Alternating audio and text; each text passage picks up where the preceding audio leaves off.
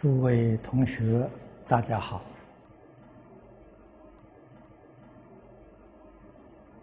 前面我们讲孝之体介绍过，孝之体就是意念圆满的自信。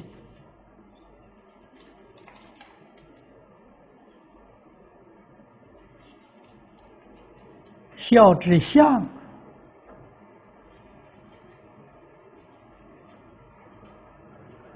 就是世出世间大圣大贤。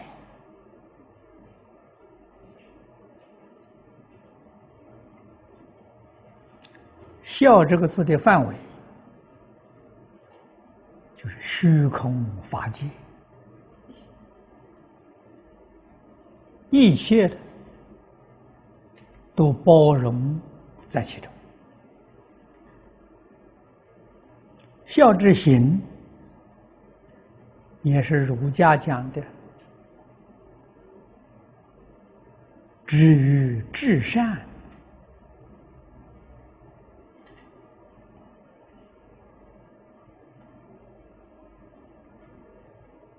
在佛法里面。就是佛行、菩萨行，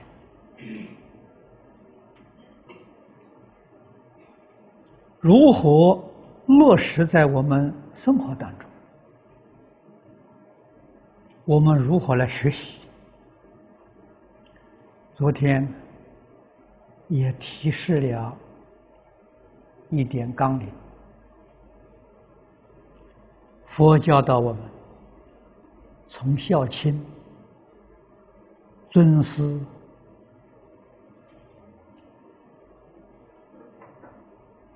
落实，知道孝养父母，养父母之身，要细心的关怀呀。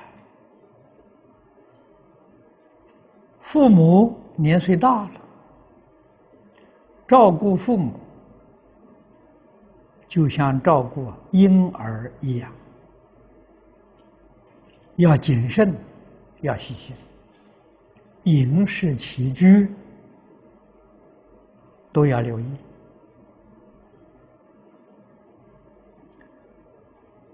在《礼记》里面，我们读到关于养老的。这些教诲很多啊，尤其是饮食方面啊，一定要选择他生理所需要的，这一点要懂得。每一个人身体健康状况不相同。啊，需要的养分也并不一样，啊，但是总的一个原则，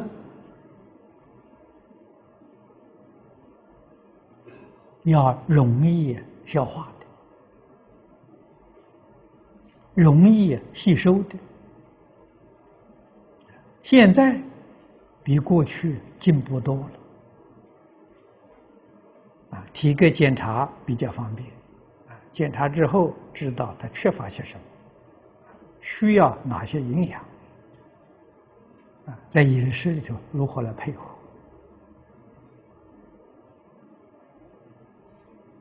这是养生的，养父母之身的，养父母之心。父母对于儿孙，对于亲戚朋友，没有不爱护。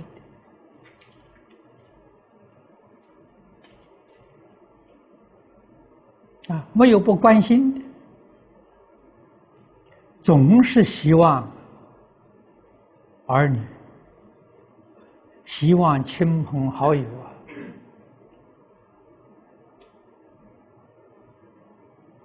都能够生活过得很好。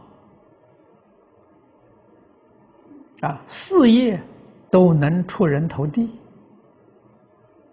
人年岁越大，越慈悲，因为他自己很清楚，来日不多了。啊，自己这一生呢，已经过去了，所以他的期望都是落实在儿孙、年轻人的身上，心地真诚慈悲。我们常讲啊，老婆心切。啊老婆是老太婆啊，他们的心真正善良啊，纵然过去生中做错事情，这个时候也都知道忏悔，也都知道回头。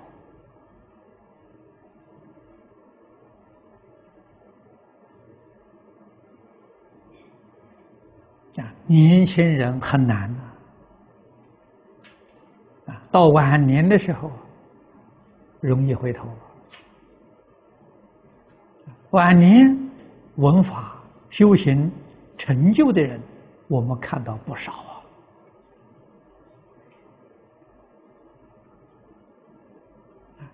接触佛法时间不长，念佛时间很短，但是往生瑞相稀有。这些道理，我们明了。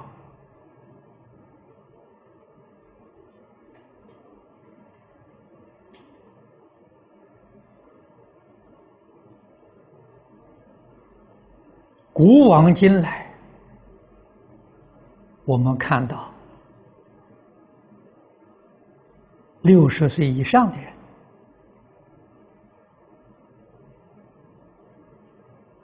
修行成就的很多，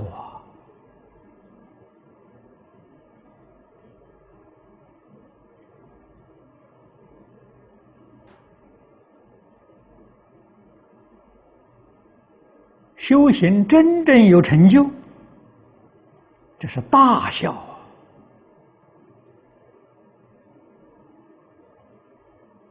那么我们懂得这个道理了，如何帮助？这些修行人，这个意义就不一样了。所以要懂得父母的心，懂得父母的希望，不要辜负父母，不要辜负老师，老师对学生的期望。跟父母对儿女的期望没有两样啊，所以中国古礼，学生对老师那一份感恩，跟对父母没有差别啊，只是在丧礼上对父母有孝服，对老师没有孝服。除这一点之外。再找不到两样。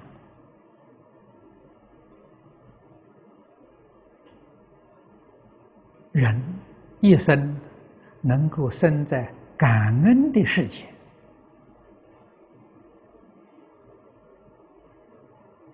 这是真正有价值、有意义。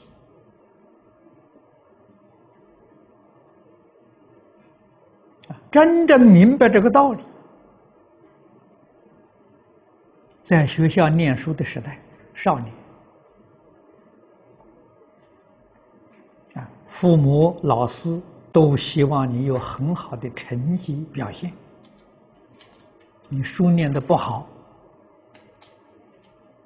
父母忧虑，那就是不孝啊。品性不好，父母也忧虑。孝子时时刻刻要让父母心情愉快，换一句话是，样样都要做的让父母快乐。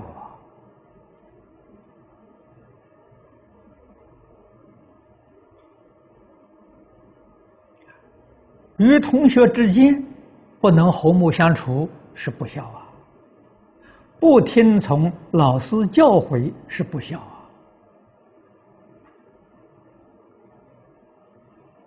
我们有没有做到？当然，我们的童年已经过去了。啊，想想看，几个人做到了？你做不到，不能怪你。为什么呢？这佛法是讲理的，合情合理合法。你小的时候没有人教你嘛，你怎么会懂得？没有人教会懂得，那你是佛菩萨再来的，你不是凡人呐。没有人教导你啊！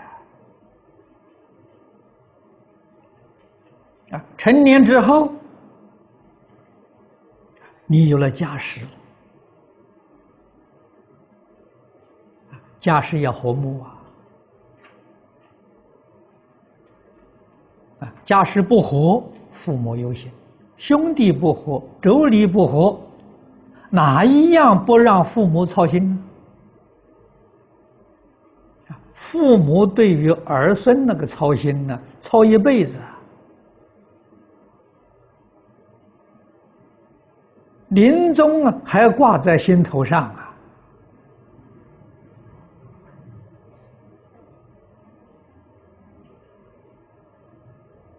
谁能够了解？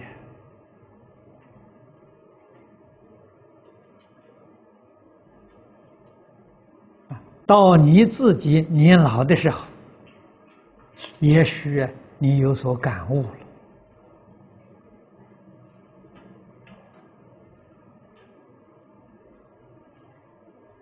了。啊，踏进社会，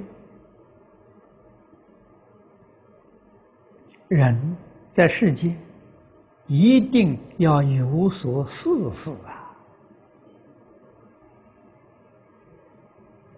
要有一个正当的行业，正当的工作，为社会服务。为众生服务，你对于你的工作，你这个行业，是不是真的尽心尽力去做了？没有尽心尽力，不孝啊！对不起父母，对不起师长啊！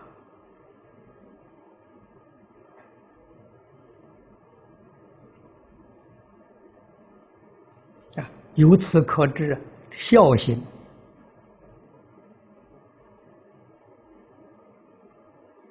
也是充塞宇宙，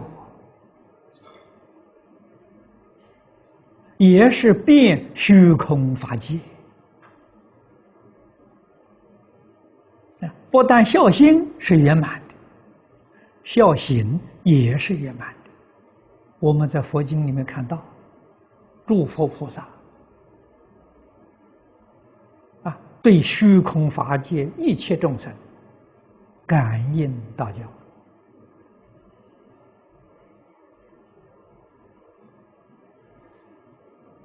啊，我们读过观世音菩萨所谓“千处祈求千处应”，那是什么？孝行呢？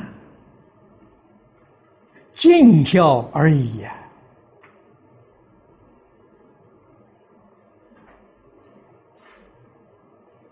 我们学佛，如果连这些基本的道理都不懂，这个佛经叫白读了。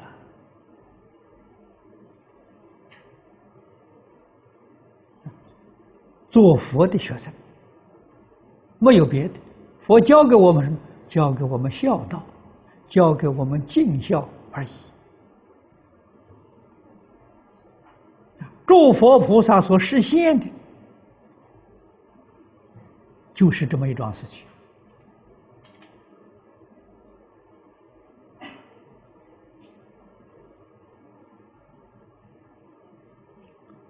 懂得孝道的人，行孝尽孝的人，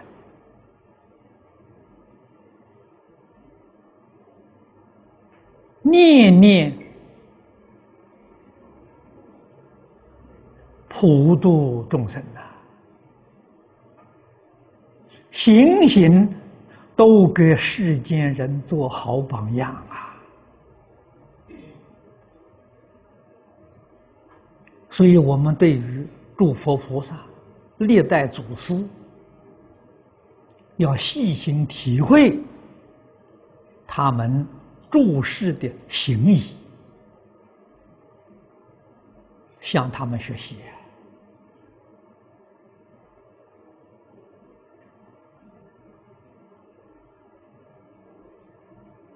啊，韩馆长往生的时候。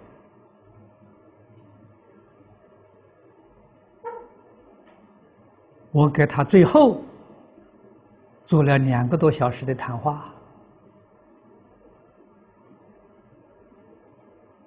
希望出家人能做出家人的好榜样，在家人能做在家人的好榜样，啊，道场能做一切道场的好榜样。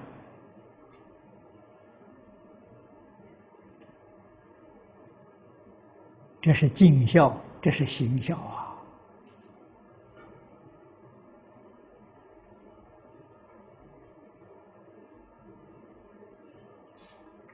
这是佛心，是菩萨心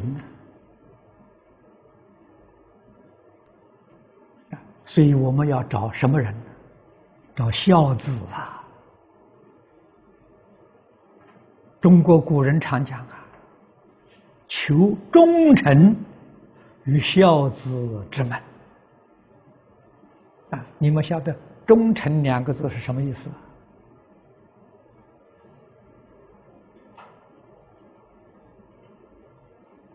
臣是办事的人员呐，啊，忠前面跟诸位讲过啊。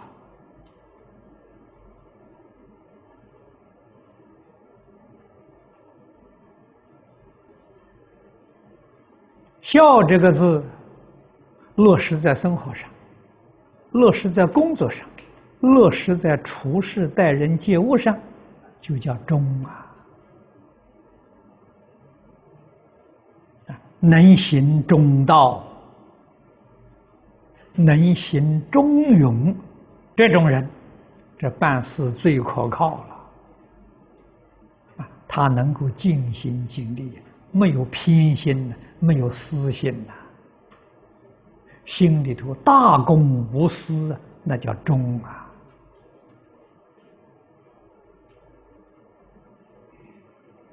所以忠孝两个字做到了，就是圆圆满满的佛道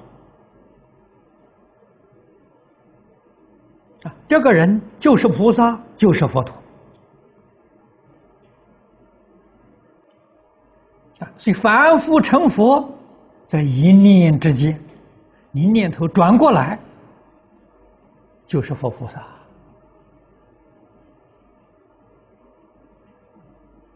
啊！身心世界一切放下，放下什么？放下贪嗔痴啊！放下是非人我。放下毁誉，放下攀缘，放下嫉妒，放下逼我。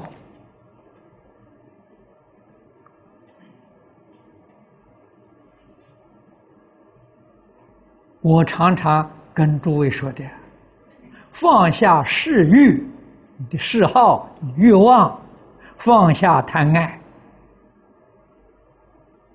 放下横逆。放下恩怨，一切放下，以清净心、真诚心、大慈悲心，为佛法、为社会、为一切众生服务。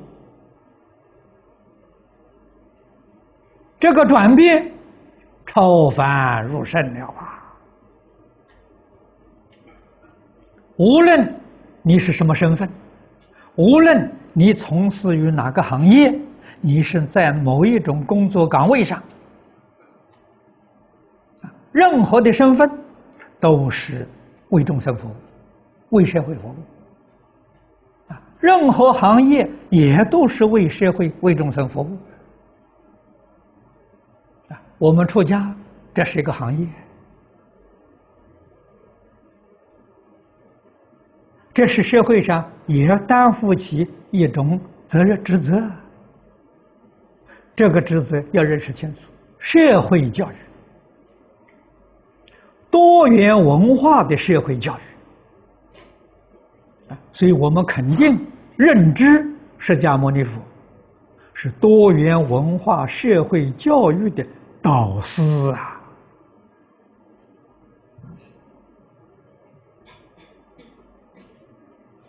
团结不同的族类，融合不同的文化宗教。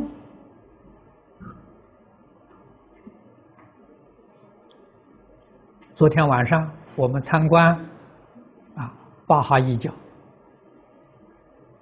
他们也是这个理想，但是佛法在理论上。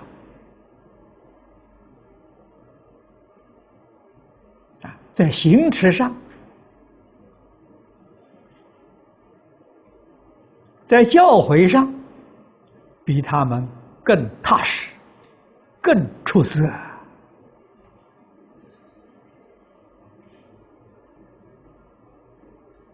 啊，过去方东梅先生讲过，啊，《华严经》里面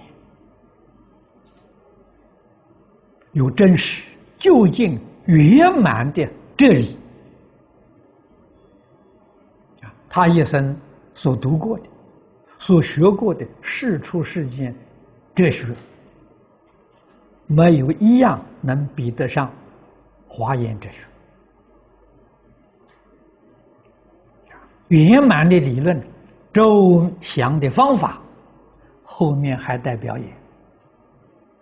善财童子五十三参是表演呐，做出来给我们看了，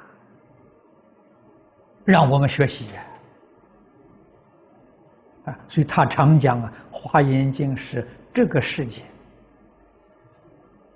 最好的哲学概论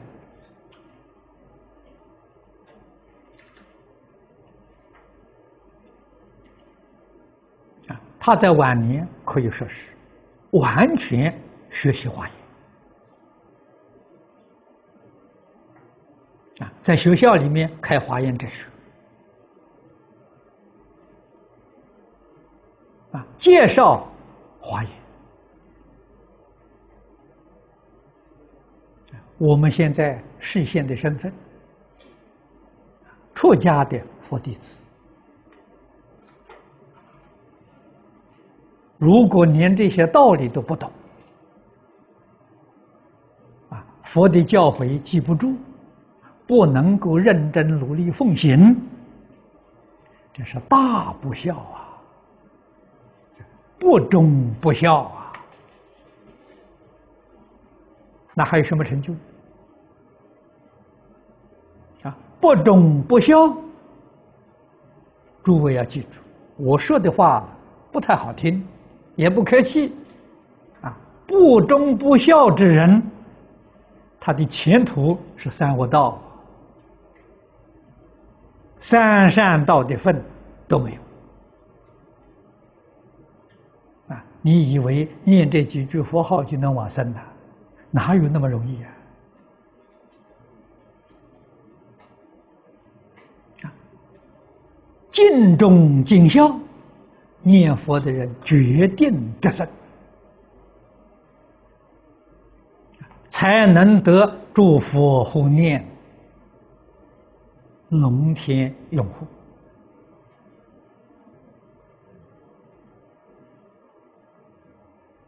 啊！希望我们共同勉励啊，认真努力来修学。好，今天时间到了，我们就讲到这里。